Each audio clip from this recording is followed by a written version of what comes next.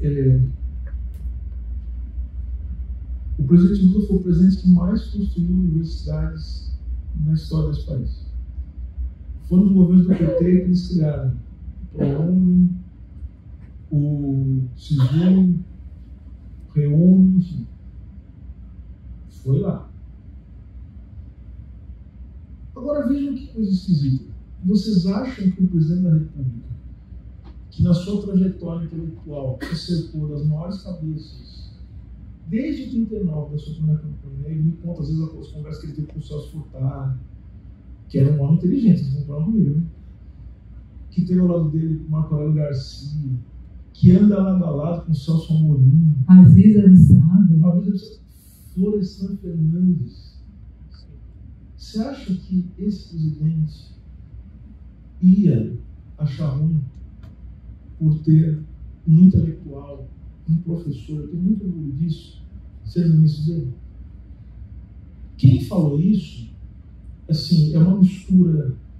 Quem inventou essa história é, fez uma mistura que é muito comum, né? É uma mistura de burrice com racismo. Eu não tenho menor. Porque assim, a minha formação, eu tenho uma tripla formação. A minha formação em Direito, Filosofia e Economia.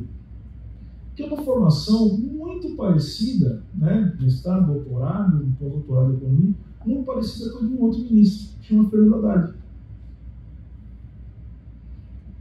Por que, que em alguns casos você ser meu amigo querido, Fernando Haddad? Mas há outros professores também que são ministros também. Outros professores professoras que são ministros ministros.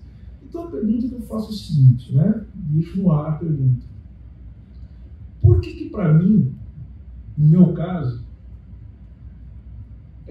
as minhas qualidades viram defeito? Percebe? Então, falando muito claramente, quando você é preto, quando você estuda, quando você estuda pouco, é um problema. Quando você é preto, quando você estuda muito, é um problema também. Perceberam que não tem saída? Ou seja, eu.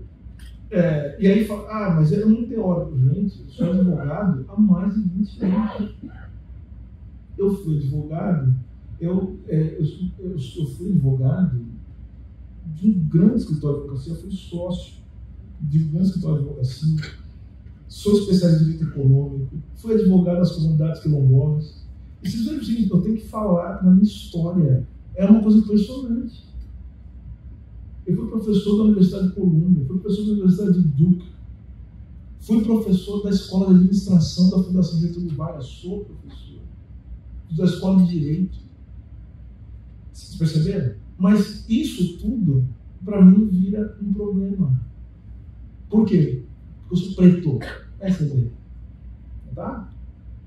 É isso. Não tem outra explicação.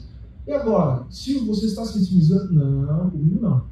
Comigo, se vier, vai vir enfrentamento. Não tem problema nenhum com isso. Vamos o enfrentamento. Quero ver. Eu, eu não tenho problema nenhum com conflito. Eu sou ministro dos direitos humanos do conflito. É isso.